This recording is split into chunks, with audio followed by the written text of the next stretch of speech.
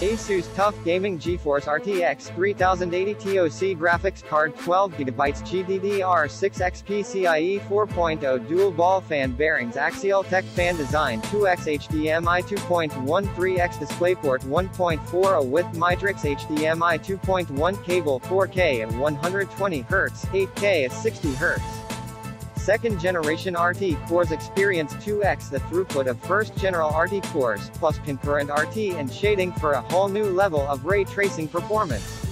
Third generation tensor cores get up to 2x the throughput with structural sparsity and advanced AI algorithms such as DLSS. Now with support for up to 8 Kelvin's resolution, these cores deliver a massive boost in game performance and all new AI capabilities. Axial-Tech fan design has been tuned up with more fan blades in a reversed rotational direction for the center fan. Dual ball fan bearings can last up to twice as long as sleeve bearing designs.